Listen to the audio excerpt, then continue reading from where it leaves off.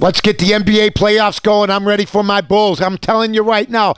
I had a caller on my Fox Sports radio show, of course, seen every single morning, Monday through Friday, 5 to 8. And for you folks in Chicago, some affiliates out here, but also iHeartRadio. Got to tell everybody this. I had a caller call in from New York saying he thinks the Bulls can win the East. Are we underrating our guys? Look what they've done. They've played better basketball than Indiana or Miami uh, is since January. I think they can get it done.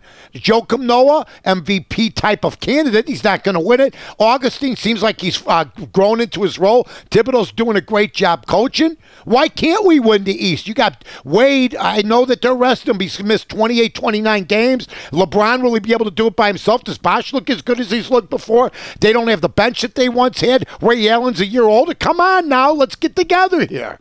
That's it. Let's say it. Is it this hard to say? Chicago Bulls beat Miami and then beat even I'm starting the Spurs and are the 2014 world champions. Convince yourself. I'm almost there. Mike North, the Rebel Inside.